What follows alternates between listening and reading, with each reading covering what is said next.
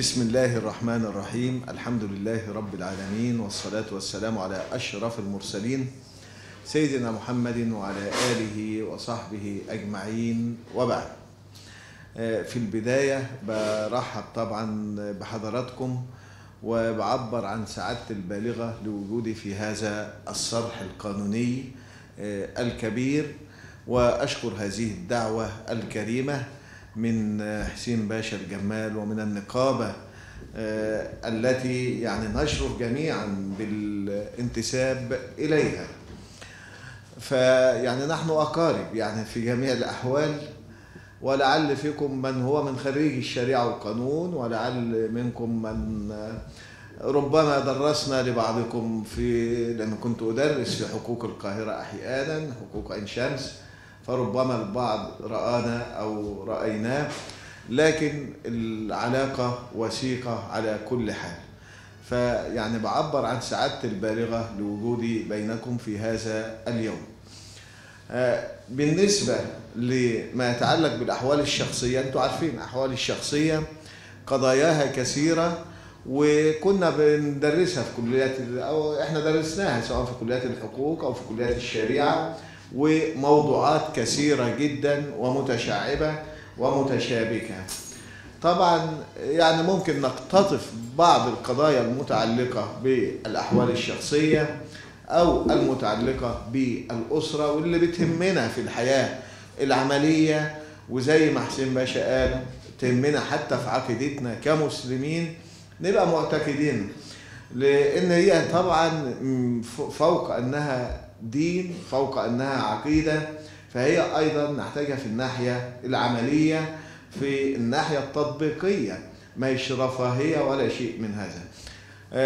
بل إن يعني ممكن أنا أعلم هذا تماما. إحنا لما بنيجي ندرس مثل هذه القضايا بنقارنها أحيانا حتى بمثيلاتها في القوانين الأخرى في الديانات الأخرى. والديانات الأخرى بتستفيد منا وإحنا بنستفيد منهم في الأفكار اللي بتطرح في النواحي العملية والتطبيقية. طبعا هل تحبوا إن إحنا نتكلم في قضية معينة من القضايا؟ ولا اختار أنا؟ ولا ندير الحوار إزاي تحبوا قضية معينة زي الزواج أو الطلاق أو النسب أو الميراث؟ طيب عموما يعني أنتوا عارفين الأسرة في الإسلام كمبدأ؟ الأسرة مقصد من مقاصد الشريعة الإسلامية. يعني إيه مقصد من المقاصد؟ يعني إنها شرعت حزمة من القوانين في الشريعة عشان تحافظ على الأسرة عشان الأسرة تستقر. لأن الأسرة مفهومها عندنا في الشريعة الإسلامية مهمة جدا. والله جعل لكم من أنفسكم أزواجا وجعل لكم من أزواجكم بنين وحفدة يعني قصة الزواج عندنا مش للمتعة البدنية فقط مش للأكل والشرب فقط بل لتعمير الكون بأننا ننشئ أسرة تمتد إلى الوقت الذي أراده الله سبحانه وتعالى لهذه الدنيا. يبقى الأسرة المقصد منها عندنا أو الزواج مش المتعة البدنية فقط. بل إنشاء أسرة تستمر في تعمير هذه الأرض إلى الوقت الذي أراده الله سبحانه وتعالى. وده طبعا بيخلينا إحنا كمسلمين نرفض العلاقات الأخرى اللي هي تخرب الدنيا. يقولوا زواج رجل برجل امرأة بامرأة. لو إحنا جيل كامل آمن بهذا المعتقد يبقى الأرض هتتخرب بعد الجيل ده خلاص. يبقى مش هنلاقي حد يعمر الدنيا ولا يعمر الأرض. بعد هذا الحال. فده تفكير شاذ وضد مقاصد الشريعة وضد مقاصد العقلاء والديانات كلها والقوانين كلها على وجه الأرض. فالمقصود تعمير الأرض. ده إحنا بنشوف البلاد اللي عدد سكانها بيقل في أوروبا وغيرها بتفتح باب الهجرة وبتدي مغريات عشان تعمر أرضها. فإحنا ما هم هم اللي يعني بي اللي بيبنوه بيهدوه. فده شذوذ في التفكير أو انحراف في العقل الإنساني. يبقى الأسرة عندنا في الشريعة الإسلامية يا جماعة أو الزواج له مقصود. مقصود كبير قوي اللي هو إيه؟ ان هو ها إنجاب الذرية وتعمير الأرض على الوجه الذي أراده الله سبحانه وتعالى. هو أنشأكم من الأرض واستعمركم فيها. يعني طلب منكم أن تعمروها. وهنعمرها إزاي؟ وإحنا نقطع النسل. راجل يتجوز راجل أو كذا إلى آخره. نعمرها يعني بالإنجاب وبالبناء وبالحضارة وبالتكنولوجي وبالحفاظ على الأوطان إلى آخر هذه المعطيات. طيب الزواج ده اللي هيعمر الأرض اللي هو هدف اللي هو حط له قوانين كثيرة جدا عشان يحقق هذا الهدف الذي اراده أو هذا المقصد. هذا الزواج له قوانين كثيرة تعصمه من الهدم ومن المشاكل ومن الشقاق التي نراها في المحاكم. وأنتم عايشين هذه المشاكل كثيرا.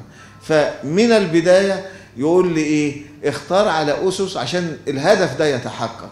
ما ما تختارش عشوائي ما تختارش من مش عارف وسائل التواصل إلى آخره.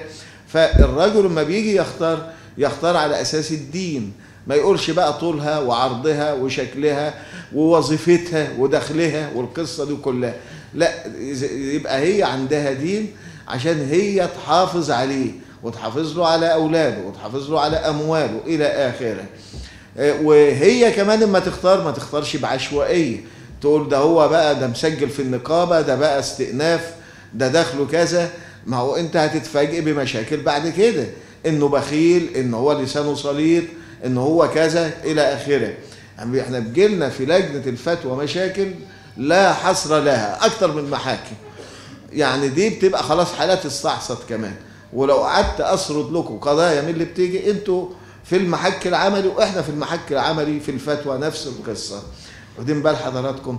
فبنلاقي من أسباب هدم الأسر ومن أسباب عدم استمراريتها غالبا الاختيار السيء من البداية. تقول أنا ما كنتش عارفه إن هو أخلاقه كده وهو يقول أنا ما كنتش عارف إنها كده. طب ما هو الإسلام إداك فرصة تختار. ما اخترتش ليه صح وما اخترتيش ليه صح من البداية. ده إحنا دائما نقول فنجل عينيك كده أهو في في. أيام الخطوبه وبعد الزواج غمض عينيك. إحنا بقى بنمشي عكس. بنمشي عكس للأسف. نغمض عينينا أيام الخطوبه وعايشين في رومانسية وهيمنين قوي.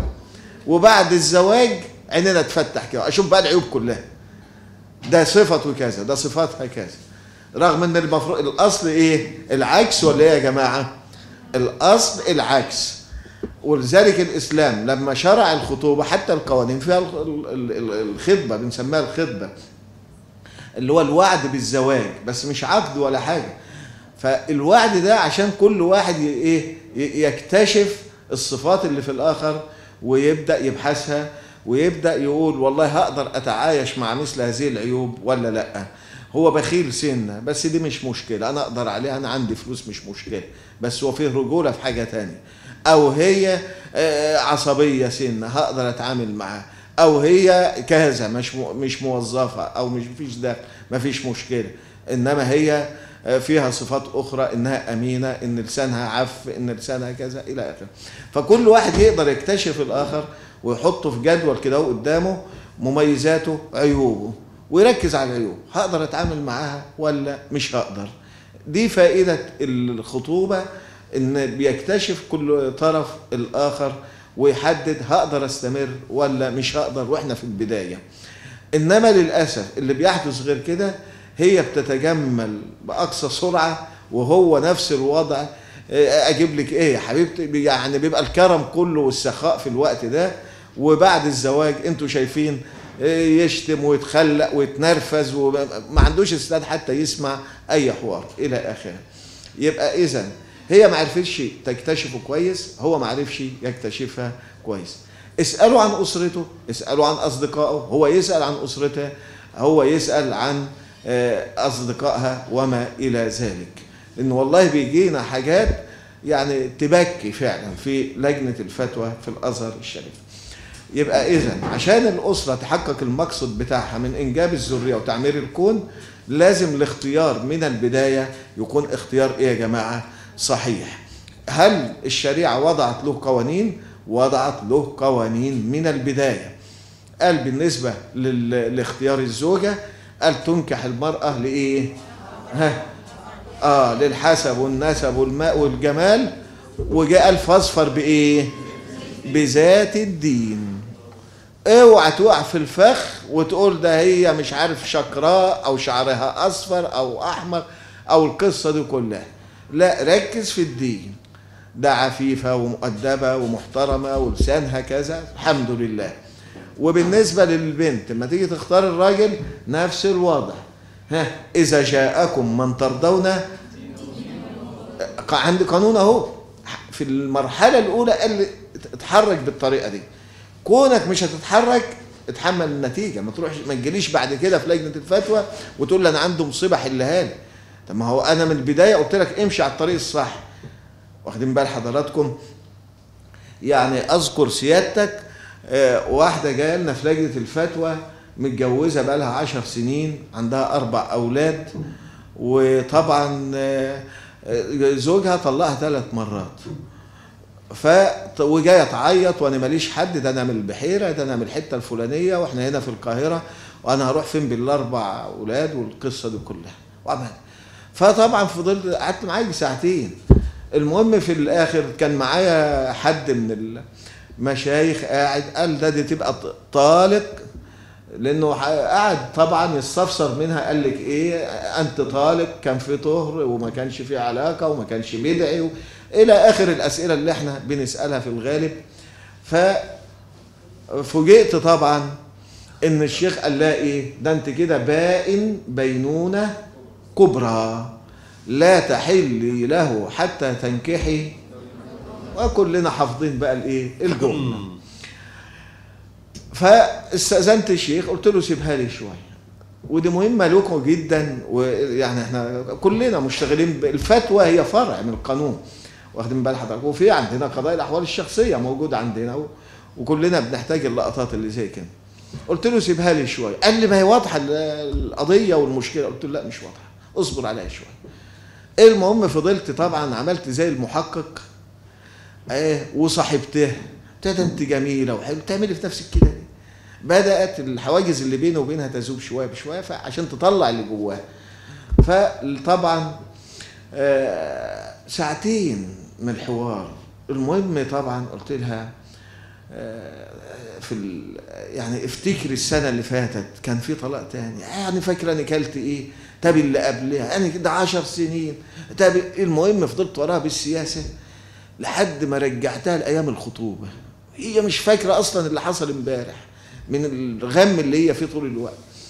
وصلتها لفترة الخطوبة بالراحة كده رجعت لها الشريط بالعافية. بالعافية خليتها تتذكر. وبأسلوب هادي كده. فالمهم قلت لها بقى الرسول قال صلى الله عليه وسلم آه، إذا جاءكم من ترضون دينه وخلقه. وأنت طبعا قلت له يا رسول الله بلا خلق بلا بتاع. المهم عنده شقة هنا في القاهرة وعنده سيارة وهيفسحني ويبسطني أو فسحك وبسطك. مبسوطه أنت كده؟ قالت لا ما أنا كنت عارفة إن أخلاقه وحش. قلت لها عرفت منين إن أخلاقه وحشة؟ وأنت لسه قايلة لي من شوية. ده هو جه خطبني من بلدي هو وأهله وكتبوا الكتاب في يوم واحد ومشوا وما شفتوش إلا يوم الدخله انت شفتيه إمتى بقى ان شاء الله؟ وانت قلت لي ما شفتهوش قبل عرفت أخلاقه منين؟ قالت له أنا ما قلتلكش. قلت لها لا ما قلتليش. قالت لي ما هو بعد عقد القرآن أو بعد كتب الكتاب حب يعمل راجل بقى. اتصل بها انت بتنامي مع مين؟ قالت له مع أخواتي. البنات ولا الصبيان؟ معاهم كلهم في أوضة واحدة. عمل راجل. لا ما عدتش تنام مع الصبيان ده كبار وبتاع وأنا تنام مع البنات بس أو لوحدك وعمل بقى فيها كده فبعدها بيوم اتصل بها تاني. عملت إيه في اللي اتفقنا عليه؟ قالت له ما تصبر ده البيت بتاعنا ضيق وما فيش فيها إلا اوضتين على ما أبويا يشوف مكان ولا أعمل إيه هو بكيفي. المهم زعق لها أنت ما بتهوديش ما بتسمعيش الكلام. كلمة منها كلمة منه قال لها أنت من بدايتها غوري وأنت إيه؟ ده بعد إيه؟ بعد كاتب الكتاب وما كانش في حصل دخل. الحوار خد ساعتين. طبعا الشيخ كان قاعد اللي كان زعلان من بيقول لي ما القضية واضحة ومش عارف إيه. لا ليه عمل كده؟ فأنا قلت لها أظن بقى وما, وما أظهرتش تعجبي ولا إن أنا اكتشفت دليل هيغير مسار القضية قدامي ولا حاجة. عملت إن الأمر طبيعي بالنسبة لي وقلت لها طب ما هو بغير عليك يا هو بحبك وبتاع. طب أكيد بقى كتبت الكتاب بعد كده. قالت لي هو أنت مش بتفهم؟ ما أنا قلت لك ما إحنا كتبنا الكتاب قبل كده هنكتبه تاني ليه؟ وزعقت لي. قلت لها معلش سامحيني يعني اللي ما يعرف بقى ده يعني خديني على قد عقلي شوية هنجي لي زهايمر وبدأت برضه عايزها تفضل على المستوى ده عشان تطلع لي ال- ال- المعلومات اللي أنا محتاجها. لأن ده هتفيدني في القضية. دي مهمة جدا إنك تاخدي معلومات تفيدك في القضية. فطبعا بعد ما التصور عندي اكتمل عن المشكلة الحكم بيبقى آخر حاجة يا اخوانا ولذلك إحنا بنقولها كده عندنا في الأحوال الشخصية وفي غيرها في الشريعة الإسلامية بنقول الحكم على الشيء فرع عن تصوره. خدوا. القاعدة دي عندكم في حياتكم. الحكم على الشيء فرع عن تصوره. انت حد بيسألك بيقول لك تعرف إيه عن الدكتور عطا اللي قاعد دي؟ انت عمرك ما شفتني. الأول تتصورني عشان تحكم ولا تحكم من غير ما تتصورني؟ الأول الصورة تيجي في ذهنك. هو طويل هو قصير هو متوسط هو أبيض هو أسود هو بيلبس نظارة هو بيلبس ملابس الأزهر العمة ولا بيلبس بدلة؟ هو متخصص في إيه؟ مش متخصص في إيه؟ إلى آخره. متزوج عنده أسرة ما عنده إلى اخره لازم الصورة تكتمل.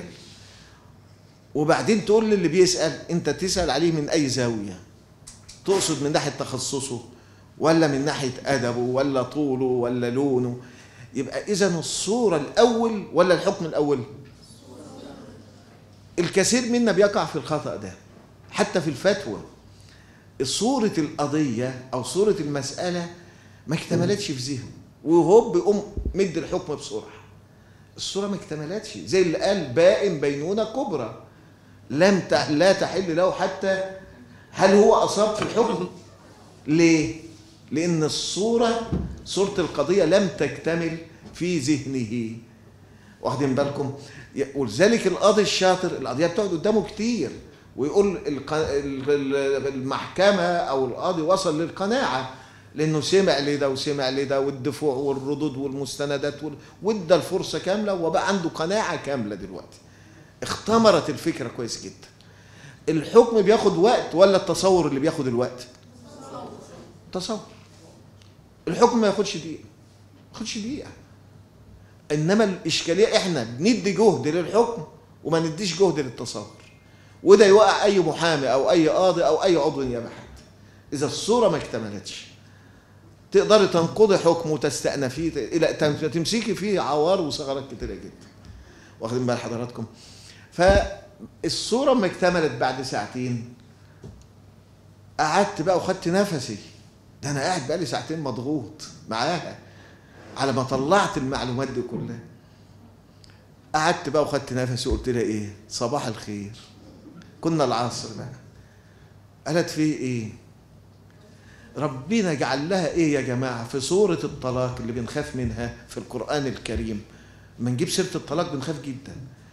سوره الطلاق أنا بعتبرها سوره البشرى سوره التفاؤل سوره الرحمة. ليه؟ ربنا يقول فيها ومن يتق الله يجعل له يبقى مين اللي بيعمل المخارج؟ اوعوا تقولوا شيخ ولا عالم ولا أس... ولا أي حد على وجه الأرض. ده اللي بيعمل المخرج ربنا. ومن يتق الله يجعل له من أمره يسرا. لا تدري لعل الله يحدث بعد ذلك. ده كله في سورة الطلاق. يبقى فيها تفاؤل ولا مش فيها تفاؤل؟ فيها التفاؤل والبشرى والخير كله. فقلت لها صباح الخير. قالت فيه إيه؟ قلت لها ده أنت مش مراته. من قبل ما تدخلوا أنت مش مراته. عارفين كلمة مش مراته دي معناها إيه؟ يعني الطلق الطلقات الثلاث اللي وقعت وقعت على غير محل. زي ما أنا امشي في الشارع وأطلق واحدة أجنبية. اطلقها اليوم القيامة مش مراتك أصلا. مفيش زوجة مفيش علاقة زوجية بينكم أصلا. قلت لها صباح الخير ده أنت مش مراته. من قبل ما تد... ما تدخلوا ساعة ما قلت لها العبارة دي لقيتها بقت زي المجنونة. تضحك دقيقة وتعيط دقيقة. قالت ابن ستين في سبعين قاعد يتشنط عليا عشر سنين وأنا مش مراته ويشيل ويحط ويعمل و... فرغت عن نفسها شوية وبعد شوية تقول يا نهار مش فايق كنا عايشين في الحرام؟ العيال دول ولاد المهم مش... لحظة ولحظة بقت هي في الحالة دي. آه بقى في صراع جواها. في صراع بدأت تعبر عنه وأنا طبعا متوقع ده كله فبقيت أسكت على ما البالونة تفرغ اللي جواها كله. مفيش مشكلة خالص. مفيش مشكلة.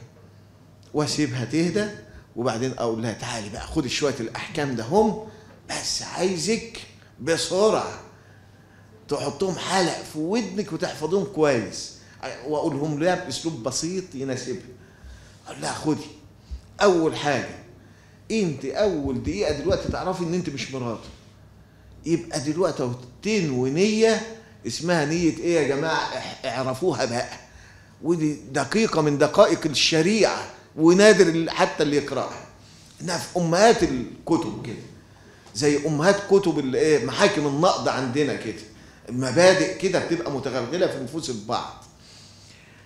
أول حاجة تنوي نيه اسمها نية المتاركة أو المفارقة.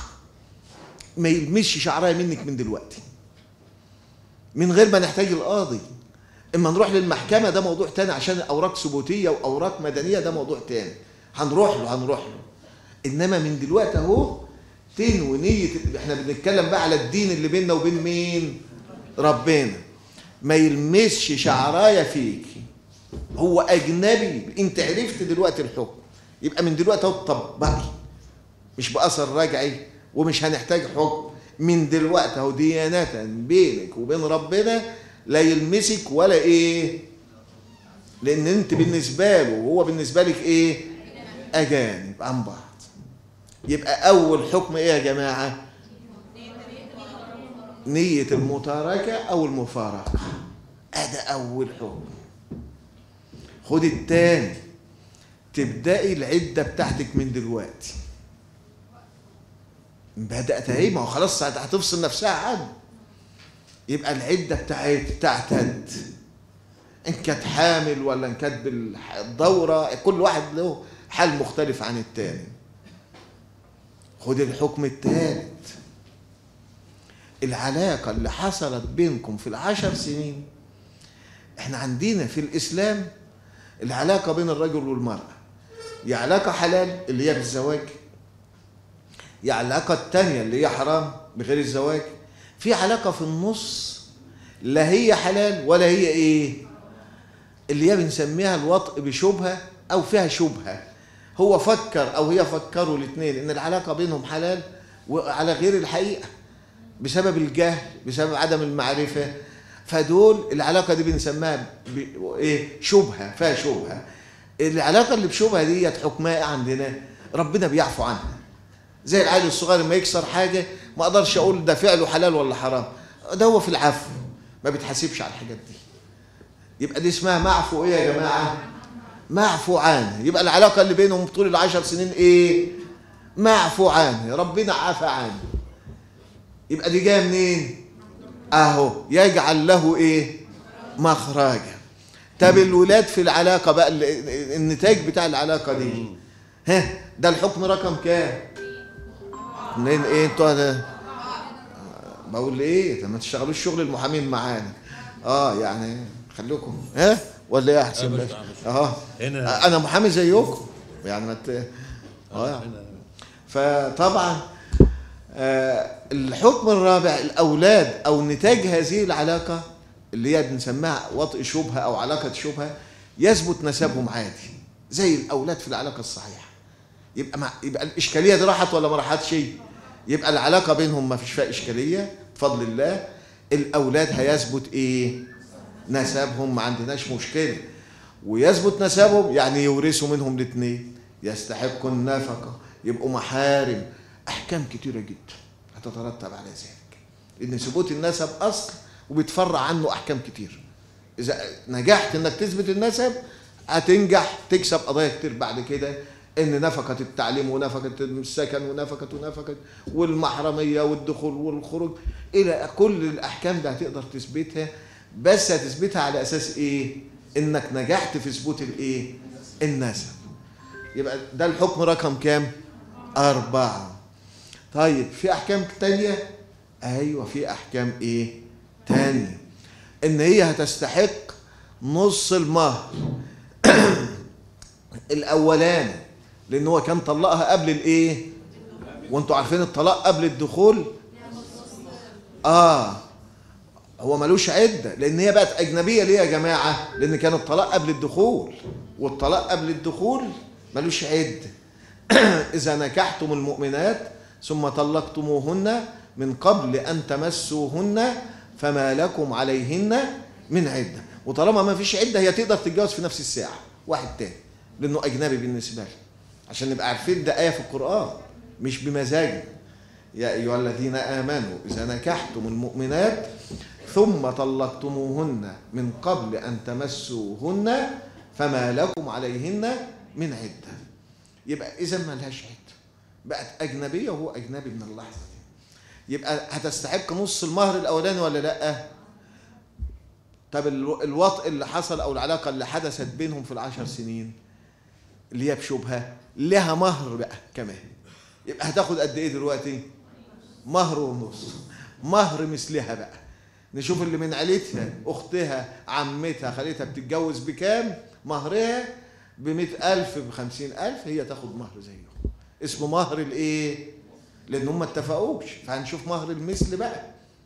يبقى هي هتقعد وتتشنط عليه وهتعوض العشر سنين. شوفوا الأحكام. حلوة إزاي؟ بس ما نفهم الشريعة من مصادرها الصحيحة بعيدا عن اللي بيمخخ وبعيدا عن غير المتخصص. يبقى إذا إحنا قلنا كام حكم دلوقتي؟ ها؟ ده هتاخد نص مهر وكمان إيه؟ مهر كامل. إيه تاني؟ ها؟ إن هي من حقها تتجوزه بعد العيد. يبقى الثلاث طلقات هيتحسبهم ما هي متطلقه طلقة أولى بس. يبقى اللي هيتحسب لها كام طلقة؟ اللي كانت دي. يبقى من حقها بعد العدة تتجوزه ولا لأ؟ العدة اللي, اللي هي هتعتدها دي من الشبهة ولا من الطلقة الأولانية؟ من الشبهة. خدوا بالكم. بتستبرأ الرحم. فال... برضه. أنتم لا هم مركزين. ده. لا ناصحين. أنتم مركزين معايا يا جماعة ولا مش مركزين؟ لو مش مركزين قولوا لي. مركزين قوي. ها؟ يعني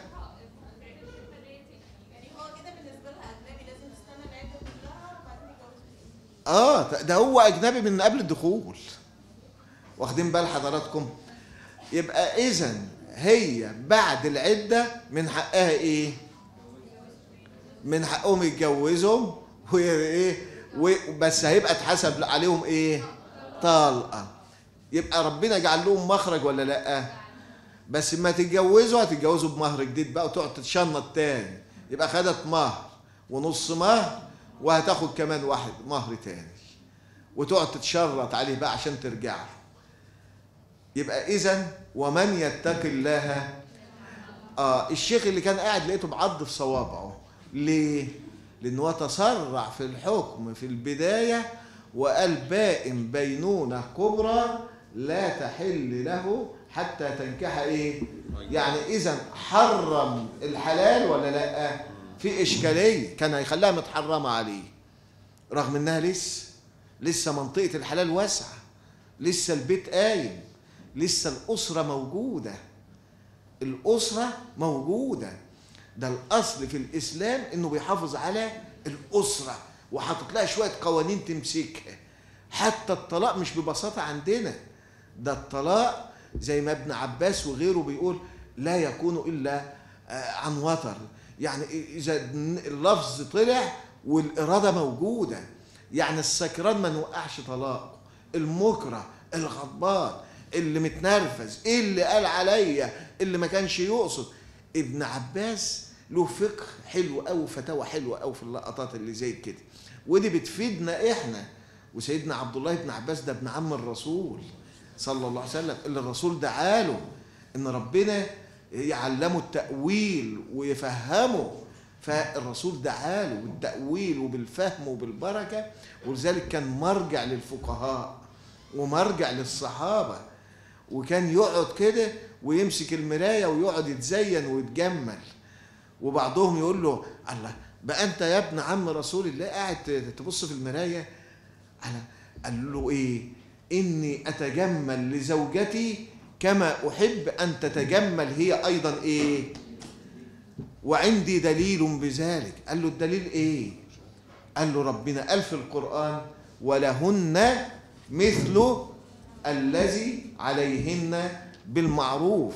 زي ما أنا عمال أفكر طول النهار إنها تتجمل لي. طب ما أنا رخر أنا قدمت إيه؟ أنا ليه شعري ما يبقاش جميل؟ أنا وشي ولحيتي وريحة بقي. ريحة بق دي مهمة جدا. لما لما يجي زوج وزوجته لجنة الفتوى ويقول لي هي ممتنعه بقى لها ثلاث سنين وأنا معرض للفتنة وكذا ليه يا ستي؟ قالت ريحة بقه سألته أنت بتشرب حاجات قال لي كنت بشرب وبطلتها. ده بتأذي الإنسان يا جماعة إحنا بشر بني آدمين. ممكن أتحمل ساعة يوم اتنين مش هيجي مع وقت كتير هيتتراكم عندي المشاعر دي مش هتحمل. أنا إنسان في الأول وفي الآخر. ويمكن مش قادر أعبر بس خلاص حصل نفور بسبب أشياء زي دي متراكمة. فقلت له طيب وبعدين؟ قال لي لا زالت بعد ما سبت السجاير عشان خاطر.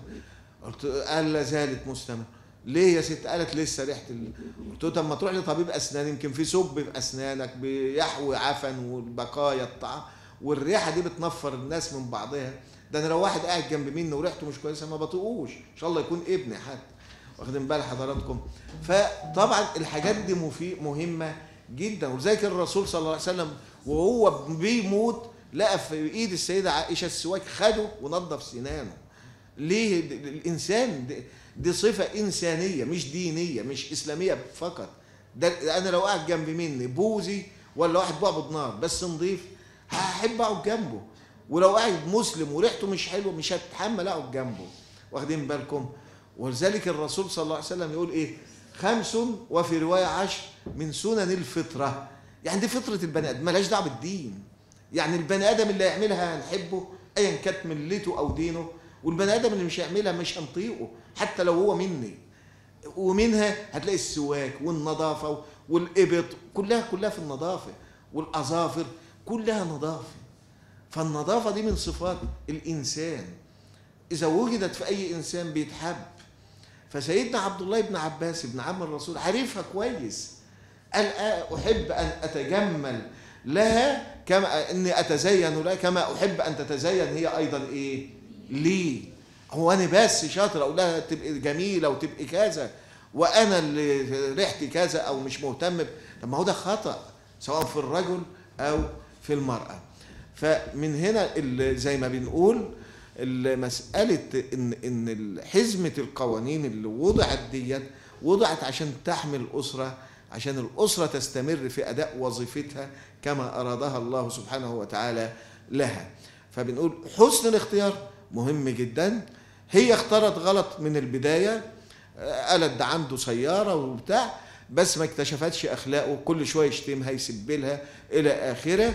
فقلت لها الرسول صلى الله عليه وسلم قال إذا جاءكم من ترضون دينه وخلقه وأنت قلت له لا يا رسول الله إحنا في عصرنا بقى الشقة والسيارة الأهم والوظيفة والدخل أهو أنت لبست في الحيطة ووراك النجوم الظهر زي ما أنت شايفة كده. فمن هنا بنقول حسن الاختيار في البداية مهم جدا. والمرحلة الأولى نغمض فيها العينين ولا نفنجل فيها العينين؟ آه طب وبعد الزواج؟ نغمض بقى. شافت فيا عيب تعمل انها مش واخدة بالها بقى. مش جات صحصح لي دلوقتي. وجاية لي بقى لاجي تقول أنا ما كنتش أعرف إن هو بالبخل ده كله. أنا ما كنتش أعرف إن لسانه ما أعرفش إيه ده بيشتمني بأبويا. الله انت جاية دلوقتي تفنجلي لي عينيكي وتتبعي كل شيء أو هو نفس الوضع يقول لي ده أنا ما كنتش اعرف ان هي وهي وهي. أنتوا جايين تكتشفوا بعض بعد الزواج. ده كارثة دي. امال الخطوبة كنتوا بتنالوا فيها إيه أنتوا الاثنين أنا كنتوا بتمثلوا على بعض. أنا كنت عقلكم كان غايب. فهنا بنقول لازم حتة حسن الاختيار والشريعة ادتك مقدمة طويلة اسمها الخطبة عشان تكتشفوا بعض تتعرفوا على بعض أكثر إلى آخره. بعد كده ظهرت عيوب نتغافل بقى. لا السؤال اللي حضرتك قلته هو في عدة؟ ما فيش عدة. فيش عدة خالص. وما حصلش كاتب كتاب تاني.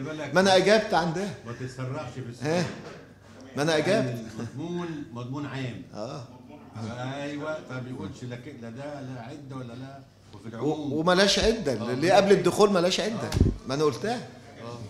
مفيش عدة خالص. هيرجع إزاي؟ حتى لو رجع ليوم القيامة. مش بإيده. اقعد بقى عشان هنسألك عارف لو حب يرجعها؟ لازم عقد جديد. هنسألك بعدين. اقعد هو السؤال بقى على فكرة دكتور إحنا هنا كنا نستدعيه إن هو نساله إن هو كان يعرف إن هو مراته الكلام ده ما إحنا ما احتاجناهوش في مثل هذا السؤال. ما احتاجناهوش لأنها قالت ما حصلش كاتب كتاب تاني. لا مفيش أسئلة. آه. لا لا لا لا لا. خلي الأسرة ما إحنا كلنا جينا عشان الأسرة وكلنا من الأسرة وكلنا لنا اسر وكلنا نقعد ونسمع الاسر اتفضل يا أستاذ اتفضل. اتفضل اتفضل يا أستاذ اتفضل. طلباتك يا فندم. طيب. يبقى اذا حسن الاختيار في أسئلة يا احسن باشا اتفضل. تحت أمر طيب إحنا كنا بنقول في قاعدة فقهية. دي بتفيدنا في القانون. خدوا بالكم في التطبيقات كمان وفي حياتنا كلها. بتقول إيه؟ مش عارف الإمام السيوطي ولا مين اللي ذكرها في كتاب القواعد. القواعد دي زي المبادئ القانونية المستقرة اللي بتشتغل عليه بيقول يغتفر في البقاء ما لا يغتفر في الابتداء. يغتفر في البقاء ما لا يغتفر في الابتداء. يعني اتشرط قوي وأنا داخل اتجوز ونحط شروط ونتشدد. وما فوتش الهوى إنما في بقاء الزوجية بقى واستمراريتها. أفوت ولا ما أفوتش؟ إحنا بنشتغل كده ولا ماشيين عكس؟ ولذلك عمالين نلبس؟ عمالين نلبس. ده اللي موجود ولا لا؟ آه للأسف. آجي عايز أعمل شركة مع واحد صاحبي أتساهل بسرعة في البداية. وأما نلبس نقعد نتشدد لبعض ونقف على الواحد. هوب بتقوم تخسر ومشاريعنا كلها أنت عارفين الدول المتخلفة الحلوة بقى. ليه؟ بسبب التعليم اللي عندنا الحلو ده. اللي بخلينا ناخد قرارات غير صحيحة. يبقى ها أغت... أفوت في البداية ولا أفوت في في, ال- في الدوام والاستمرار؟ آه. خلاص خلصت. ده إحنا بنعمله. يغتفر في البقاء ما لا يغتفر في الابتداء. جملة حلوة ولا مش حلوة دي؟ ولذلك المتزوجة منكم تفوت. خلاص خلصت ما عادش ينفع بقى أعلق كتير. اللي متجوز ما عادش يعلق كتير. تعليقك ده يا بطل كان له وقته إنما أنت لبست.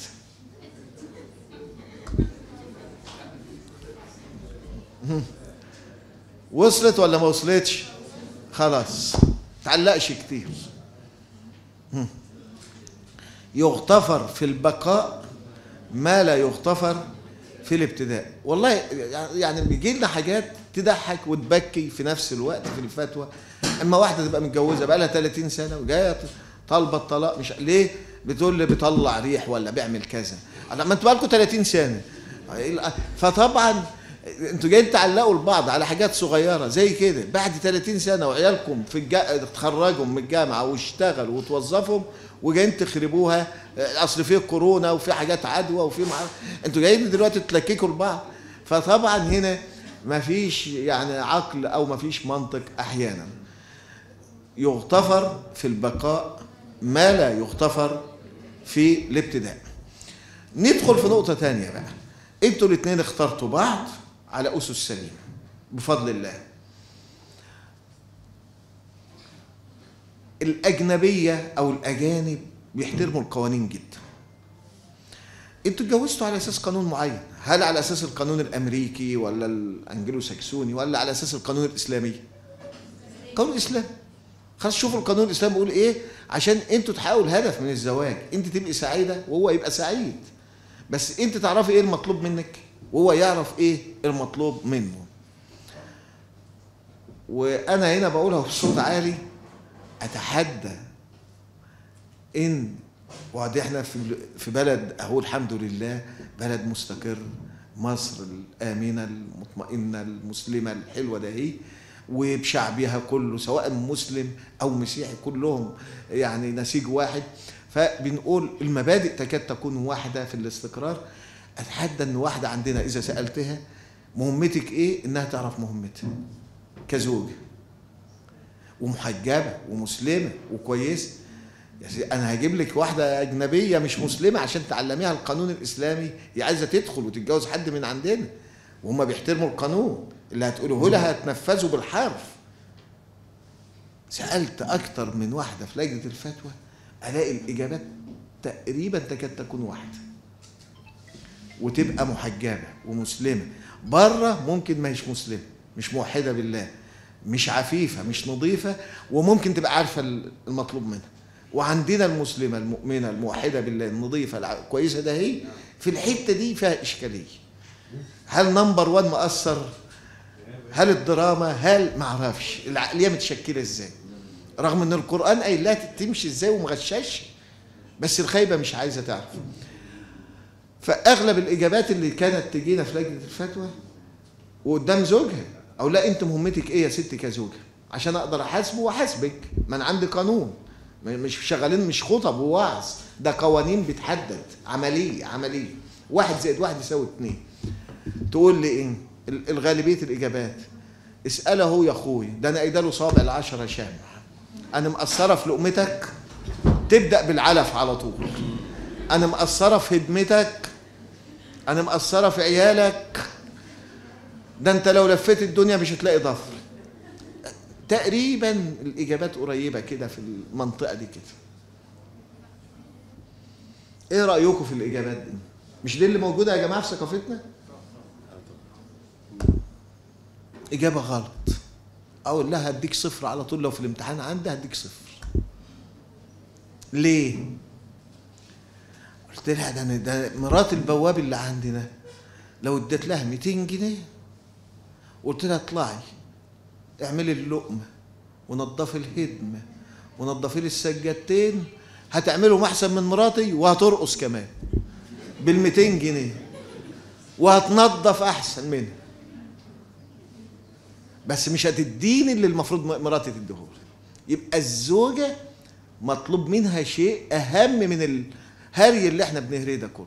ده العلاقة كبيرة يا إخوانا.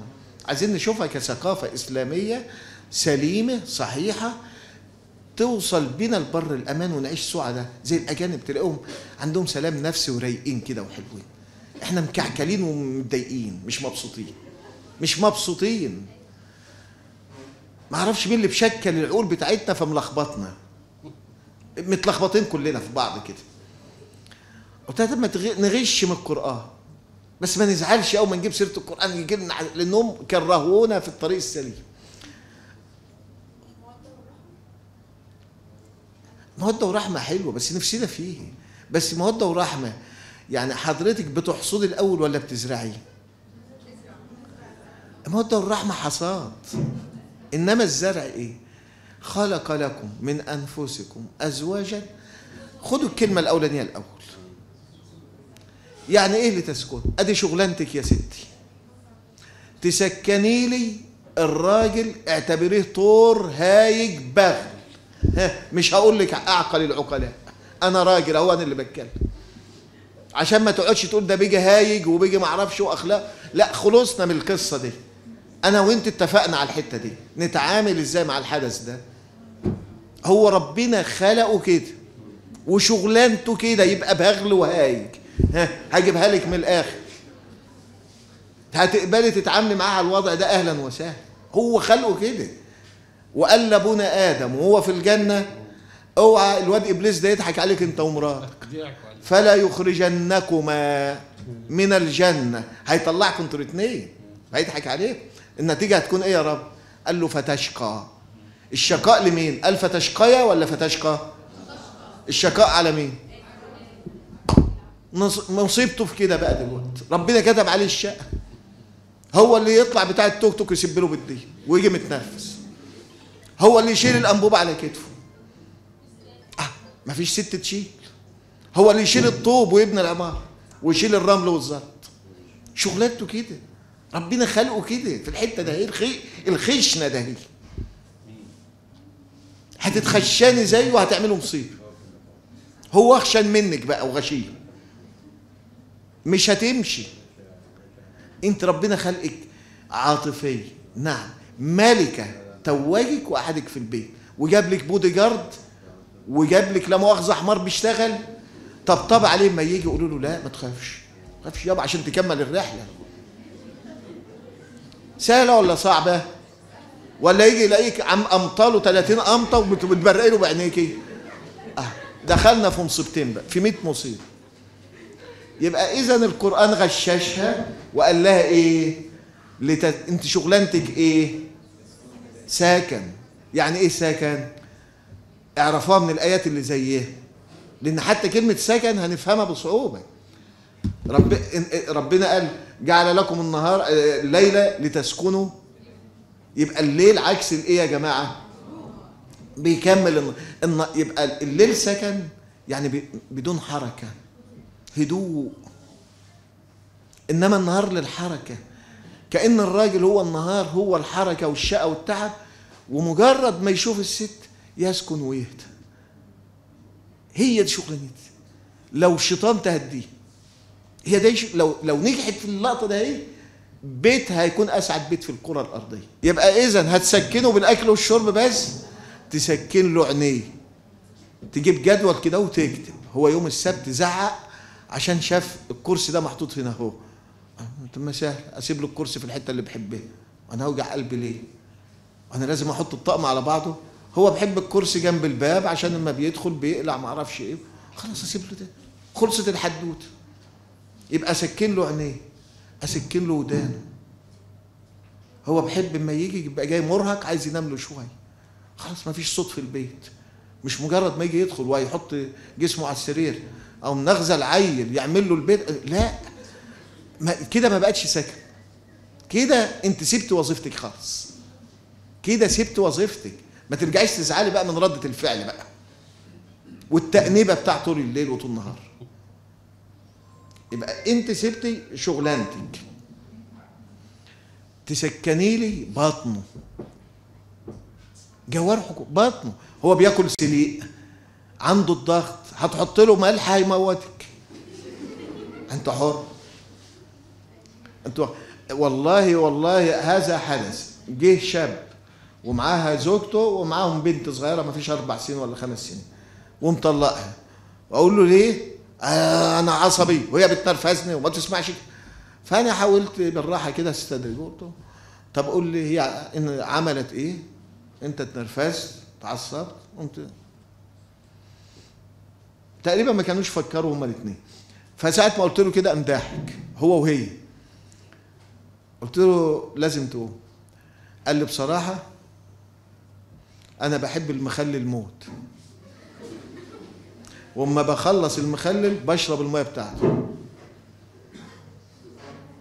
بيروق دماغي. وقلت لها 100 مرة الأكل لازم يبقى فيه مخلل. وامبارح نفس القصة. جايبها لي الأكل قلت لها أنت غبية أنا نسيت انت حمار أبوك أبوك قصة روحي وأنت كذا. اللي أنت شايفاه كلمة مخلل لا. اللي إحنا شايفينه السكن مش موجود هي هيجته أنا عايزها تسكنه ما هو ممكن واحد عنده الضغط وجابت له المخلل يطلقها عشان المخلل. لازم هي تفهم الحالة بتاعتها تتعامل معاها زي المريض كده. القصة مش في المخلل إحنا شفناها مخلل. طبعا أنا قلبتها بضحك عشان أهدي الدنيا وبعدين قلت له بالله عليك يا راجل. قرار الطلاق اللي طلع من بقك ده ده طلع من مخك ولا طلع من المعده وضحكته وقلت لها وأنت يا ست ابقي خدي بالك من العلف بتاعه اللي فيه كويس وهدي الدنيا وكنا في غنى عن الغم ده كله. شوفوا حتة لتسكنوا المصريين لما يروحوا حتى يصلحوا بين اتنين أول حاجة صلى على النبي يا جماعة فين المودة والرحمة؟ رحمة إيه؟ مش الأول تشوف في سكن ولا لأ؟ واحد مراته مهيجاه طول الليل ما نامش ومتضايق منها. هتيجي المودة منين؟ ما هو هيقول لها كلمة هيتنرفز. هي هتقوم رد عليه. هو هيرد هيوصلوا لمرحلة. يبقى يبقى المودة دي بعد السكن ولا قبل السكن؟ بعد السكن. بعد السكن. مفيش مودة قبل ابدا.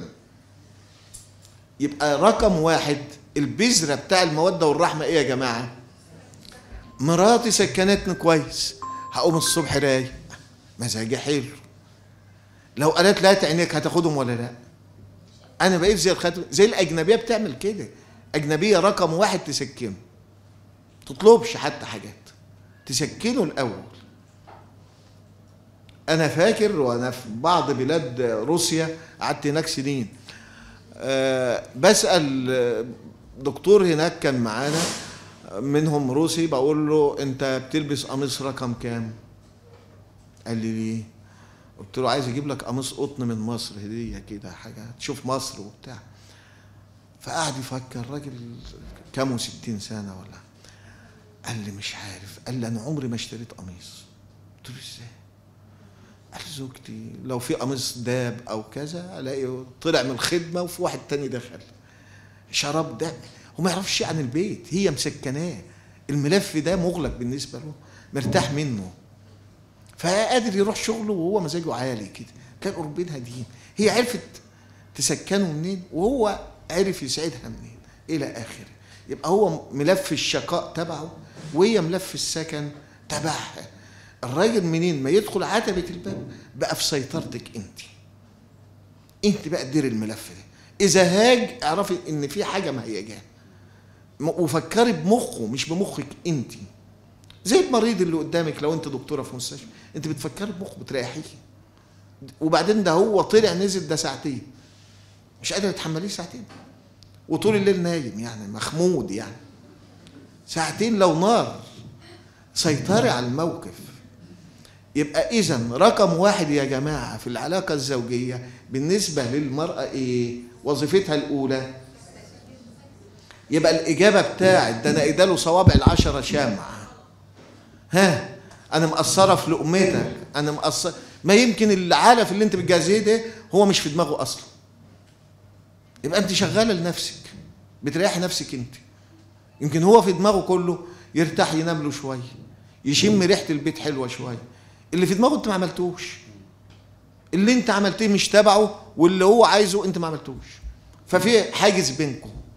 حاجز نفسي. حاجز أنت مش قادرة تدير الملف كويس. يبقى رقم واحد في العلاقة الزوجية أو مهمة الزوجة وفقا للقانون الإسلامي وفقا للشريعة الإسلامية والأحوال الشخصية اللي إحنا بنعتقدها عندنا. ها مهمة الزوجة الأصلية إيه يا جماعة؟ والسكن بالمفهوم اللي إحنا عارفين ده هو مش كلمة نقولها ومش فاهمينها لا تسكنيه للجثة دي تسكين كامل. خدريه اضحكي عليه اكدبي عليه. في أكتر من كده. ده بنقول يباح الكذب بين الزوجين. اوعى تقولوا له مش ما بحبكش ولا مش طايقاك. حتى لو مش طايقاه ما تقولهاش. اوعي اوعى تقول الكلمة دي. إنما من أول اختلاف بينكم على حزم الجرجير ولا أنا ما كنتش طايقاك. ده أنا كنت عايشة في بيت بابا. يلا منهم لله اللي كا... لا اللغة ديت بتخرب البيوت. ولا أنت هتعيش سعيدة ولا هو يعيش سعيد ولا الأولاد هيعيشوا. سعداء. فاذا أنا زوجتي لو سكنتني هقوم الصبح بحبها ولا لأ؟ بذمتكم ولو قالت لها عينيك هتاخدها ولا لأ؟ يبقى السكن مفهومه أكبر من العلاقة الدقايق اللي هي بالليل دي ولا لأ؟ كبير جدا. أنا عايزك تسيطري عليه. زي الأجنبي بقول لك الراجل بيقول بقاله 30 سنة متجوز في روسيا ما يعرفش يعني البيت من جوه. إنما النهارده سيادتك تبقى وزير تبقى في وظيفة كبيرة ورايح شغلك بتصلي مع الناس أو كذا تبص تلاقي الشراب بتاعك مخروم من ورا. أمال اللي كان في البيت دي بتعمل إيه؟ على بخلع الجاكيت عشان أتوضى ولا شيء. أبص ألاقي ما فيش فيه زرارين ثلاثة والكرش يظهر والهدوم ده ده ينفع يا جماعة؟ أمال اللي تسكنوا فين؟ هتهيجوا ولا مش هتهيجوا؟ اما يشوف اللقطة دي. على أو يبص يلاقيه أعزك الله بيسوق العربية يلاقي فيه فردة جزمة حمراء وجزمة فردة سوداء أمال اللي معاه بيعمل إيه؟ الملف اللي جوه ده تبعها. ده ده الواحد فينا ممكن يعيش طول عمره عمال يجيب فلوس وخيرات وما يعرفش عن بيته شيء. مين اللي بيستمتع بالنجاح دي كلها؟ هي والأولاد لو هي شاطرة. ربنا مسخره لك كده. دي نعمة من ربنا. كونك بقى خرجت للعمل اوعى تتحججي. وتقولي ما أنا بشتغل زيه. ده سنة مش فرض عليكي لو قعدت في البيت ده مش فرض. اوعى السنة تطغى تضيع الفرض. يبقى ده عدم عقل بقى. سامحوني. لو بقيتي وزيرة لو بقيتي وزيرة ورجعت البيت ولقيتي الزوج اوعى تعملي عليه وزير. وزيرة ورجعت البيت زوجك بالنسبة لك يبقى رئيس الجمهورية. اوعى توقعي في الوقعة دي؟ وتاخدي المقلب ده وحد يضحك عليكم. الزوج يبقى هو الزوج. ودي مهمتك لتسكنوا يبقى إذا يا جماعة السكن نتيجته إيه؟ وجعل بينكم ربنا قدم إيه في الآية؟ السكن ولا المودة؟ إحنا بنعكسها ولا لا؟ لما نكون رايحين نصلح اتنين. صلوا على النبي يا جماعة فين المودة والإيه؟ والتانية نغمض عينينا عنها. وهي سبب الم- المصايب كلها. سكنين. الدنيا تهدى. دي في إيدك آه في إيدك لتسكنوا إليها وجعل بينكم مودة ورحمة. هتلاقي البيت هدي وهو مزاج واحد. والولاد بولادكم عاشوا في جو هادي. هيطلع عندهم سلام نفسي هينجحوا هيتفوقوا. هيبقى عندكم محمد صلاح. هيجي لكم ملايين يا عم وتتبسطوا. وهتسيبوا المحاماة وتسيبوا الدنيا دي كلها. طب الولاد لقيوا البيت متعكر. ما الولاد هيطلعوا مجرمين هيطلعوا حاجة غلط. مش هتسيطروا. إلى اخره يبقى الزوج ها عشان نبقى عارفين يا جماعة الطباع. ربنا خلق الراجل لإيه؟ للشقاء والتعب. اوعوا تفكروا إن الراجل هيبقى ست في يوم من الأيام. وربنا خلق الست للسكن. خلق أنا عايزها تبقى كده. زي الأجنبية بتشوفوها تلاقي عندها سلام نفسي. إحنا عندنا بيشكلوها على إنها راجل عايزة تتح- تحارب تتخانق. في إيه؟ ليه كده؟